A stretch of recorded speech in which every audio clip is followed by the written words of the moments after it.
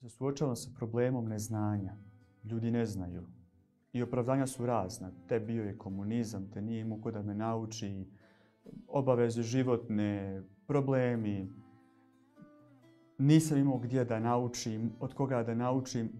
Sve su to izgovori, nisu to realni problemi.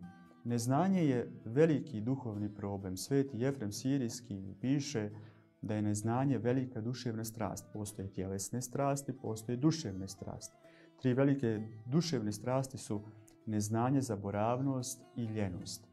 Neznanje čovjeka vodi u tumaranje, u maglu. I onda ti iz jednog problema padaš u drugi problem. Kaže, ako slijepac slijepca vodi, obojica padaju u jamu. E sad, mi Srbi ne možemo da kažemo ne znamo.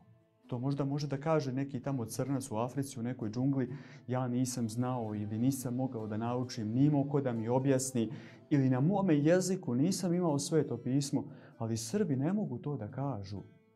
Srbi su narod koji ima na svome jeziku sveto pismo, koji ima na svome jeziku dijela svetih otaca, narod koji ima žitije svetih na svome jeziku, pravoslavlje je na ovim prostorima od, ili hrišćanstvo od prvih dana. Mi imamo preko 800 godina svetosavske crkve, a hrišćanstvo je tu od prvih dana. Mi se rađamo u pravoslavnom svijetu, nasleđujemo to od svojih predaka. Dakle, to što mi nešto ne znamo, ne znamo zato što ne želimo da znamo. Vi danas imate mlade ljude, mogu da vam nabroje prvu i drugu postavu zvijezde i partizana, ali kad ih pitaš da vam nabroje makar 12 apostola, ma kakvi, ko, kad ih pitaš da li je apostol Pavle bio u dvanestorici, naravno, on je u dvanestorici. Ne znajući da apostol, sveti apostol Pavle ne pripada dvanestorici apostola. I mi te stvari ne znamo. I pošto ne znamo kako bi trebali da živimo, a bez Boga ne možemo da živimo, bez obzira na to gdje smo mi, koliko smo spremni fizički ili mentalno, kakva nam je pozicija u društvu. Čovjek je samo čovjek u svijetu koji ga ne mazi, koji ga ne štedi, koji ga gazi. I to neznanje dodatno pomaže ili dodatno utiče na to da ti padaš iz problema u problem. A problemi se rađaju jedan za drugim, godine prolaze i ono što je mogao čovjek u 20 ili 25, ne može onaj u 65. I zato nam sveto pismo, to nam gospodi govori, koristite vrijeme od su dani zli. Ja sam u ovom danu prizvan da budem dobar hrišćanin, dobar čovjek, dobar brat, prijatelj, monah. Danas i u ovom danu koji ima 24 sata, ja imam dovoljno prostora i za molitvu i da pročitam makar jednu glavu iz svetoga pisma i da pročitam makar jednu stranicu iz dijela svetih otaca. Kod kaže da nema vremena, laže.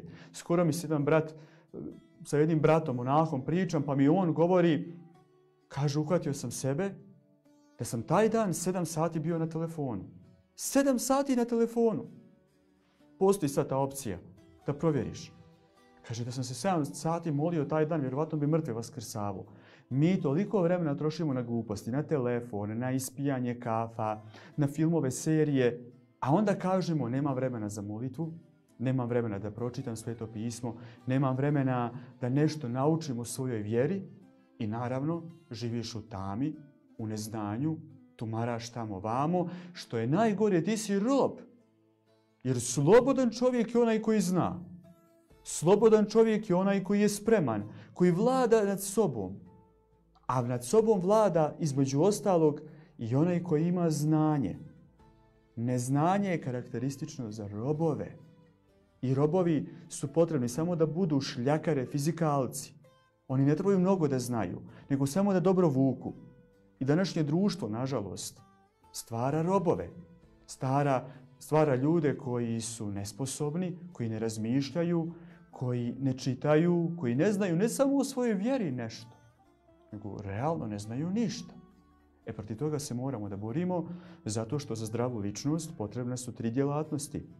Duhovna, intelektualna i fizička. Krećemo se u tim pravcima jer ako stanemo na trenutak, mi možemo da stojimo, ali vrijeme prolazi i ono što može čovjek u današnjem danu, onaj za 20 godina neće moći. Dakle, borimo se protiv neznanja, trudimo se da upoznamo nešto o svojoj vjeri. Ne možemo da ne znamo ko je bio gospod i ko je sveta trojica, da ne znamo ko je bogorodica. Ne možemo da ne znamo šta je liturgija sveta, da razlikujemo bogosluženja, šta je jutarnje bogosluženje, šta večernje, šta liturgija. To su nasušne stvari, odatle sve počinje. A dalje kakva ti je vjera, takva ti je molitva, kakva ti je molitva, takva su ti dijela i dok se okreneš, propast, pakao, očajanje, užas. Dakle, borimo se protiv neznanja, trudimo se da svaki dan iskoristimo najbolje moguće.